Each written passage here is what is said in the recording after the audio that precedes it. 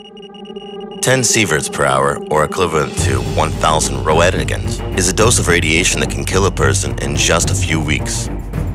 Immediately after the explosion of the Chernobyl nuclear power plant, the radiation level rose to several tens to hundreds of sieverts. In the present day, it's much safer around the disaster area. On average, less than one sievert, or 100 roentgens, although in some areas, the radiation level is still fatal. Though Chernobyl is far from being the most radioactive place on the planet, there is a place on Earth where the radiation level is 10 times higher than in Chernobyl. It's a real radioactive hell. Where is this place located? Why is there so much radiation? Why do people still live there? And what does SpongeBob have to do with it?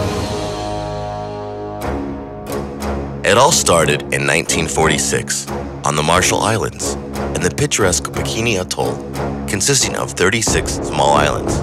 167 local residents didn't even expect what their homeland would be turned into in the near future.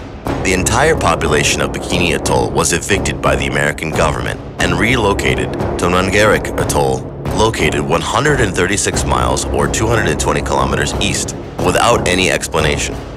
Poor islanders had no idea why they would be forced to leave their homes. However, after a few months, everything became clear. The American military began nuclear tests in the now abandoned atoll. The military used 100 tons of dynamite to destroy the coral ledges that were preventing military ships from entering the Bikini Lagoon. After a path was cleared, a fleet of 95 ships was able to freely approach the atoll.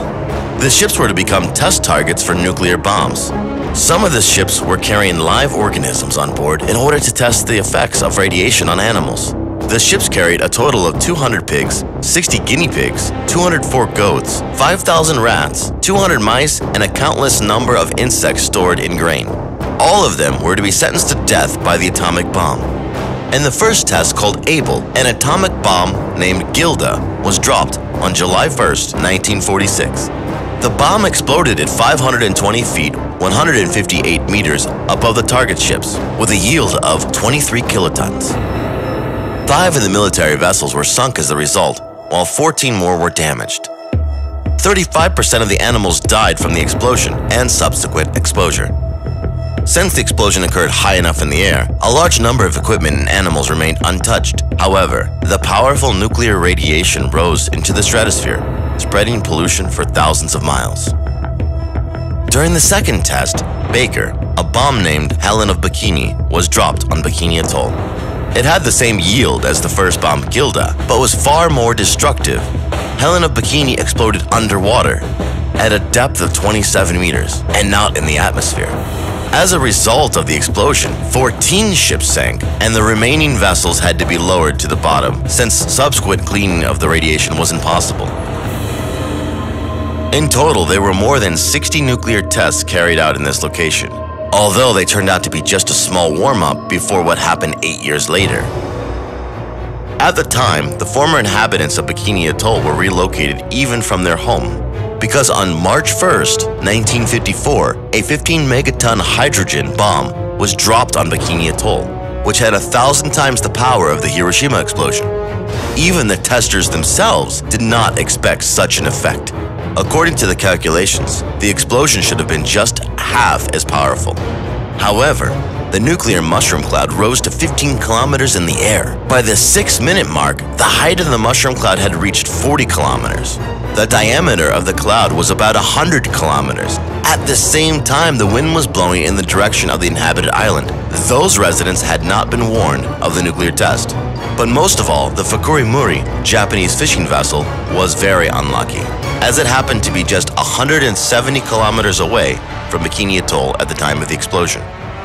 All the crew members suffered radiation sickness and were disabled. Later, radio operator Aikichi Kuboyama died in agony seven months after the incident. In addition, a total of 856 more Japanese fishing vessels were affected, with a combined total of 20,000 people on board, as well as 50,000 tons of fish, which had to be declared as radioactive and unsuitable for consumption. The monstrous nuclear test was called Castle Bravo, after which the talks about the environmental damage of nuclear tests took place. But this did not stop the military from making two more similar explosions on Bikini Atoll Castle Romeo, with a capacity of 11 megatons, and Castle Yankee, with a capacity of 13.5 megatons. These bombs also caused irreparable damage to the environment, even though by the 60s, the US government recognized the Bikini Atoll as a clean place, and in the early 70s returned some of the original natives back to their homes. Though by 1978, it became clear that this decision sentenced the islanders to excruciating suffering. Residents of the Bikini Atoll consumed food and water containing record high levels of radioactive isotope cesium. As a result, children were born with genetic abnormalities and died before they were born. The number of oncological diseases exceeded all statistical records. Therefore, in 1978, Bikini residents were again relocated. By 2013, the number of people who originally came from the radioactive atoll was about 4,880. But on the islands themselves, there are more than nine who act as caretakers. And at the bottom of the ocean, next to the notorious place, is where SpongeBob lives. It is here that the creators of the legendary animated series made the setting for this strange yellow sponge, who is probably also radioactive. But even as SpongeBob isn't threatened by this environment, the remaining nine people are not at all safe there. Indeed, as recent studies have shown, the level of radiation on the Bikini Atoll is the highest on the planet. In the soil of the islands of the Bikini Atoll, the detected amounts of plutonium-239 and 240 are 1,000 times more than in Fukushima and 10 times more than in Chernobyl. And the level of cesium-137 in local fruits exceeds the norm by 11 times. As a result, a tropical paradise over the past 60 years has been turned into a radioactive hell. To date, the level of gamma radiation on the Bikini Atoll averages 191 millirems per year, or 1.91 millisieverts per year, which is almost two times the, the permissible norm. In a few isolated locations, the situation is even worse. The radiation level reaches 648 millirems per year, or 6.48 millisieverts per year, six times the norm. This is not enough to cause radiation sickness. If you eat fruit and drink the water from an infected area, the likelihood of cancer in the coming years is very high, almost inevitable.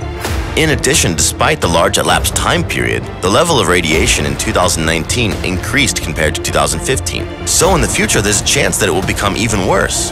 Access to tourists for the remote corner of the planet will be closed for several dozens of years. This is how Bikini Atoll became the most radioactive place on the planet. Of course, this only takes into account the surface of the Earth. Underground, there are places with a higher level of radiation. Right now, under your feet, about 20 terawatts of energy are produced through the decay of radioactive elements. I'm talking about the Earth's core.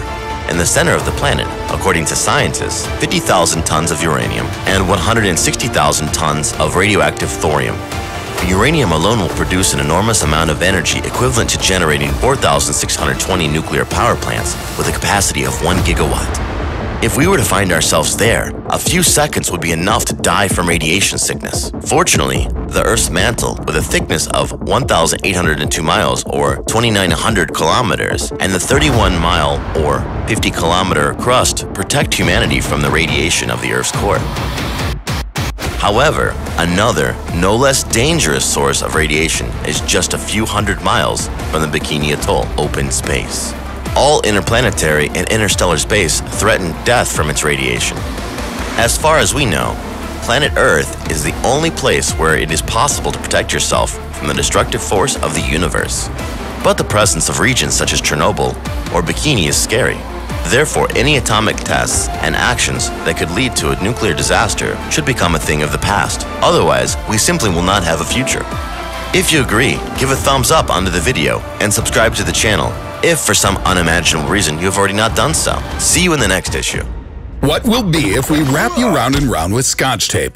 Throw the whole package into a microwave oven. Roast it quite well. Feed that to a giant hungry whale. After that, drown you in the ocean. Then bury you alive, send you into space. Then let you drop back down to Earth straight to the bottom of the Mariana Trench. After that, take you out and dry you under a nice warm lightning storm. Dress you up, comb you out, stick you on a plane, climb to a height of 30,000 feet, and toss you out once more, where you plummet back down to the unyielding surface. Of course, without a parachute. What will happen then? Let's ask Arnold. How are you feeling, buddy? You still on your feet?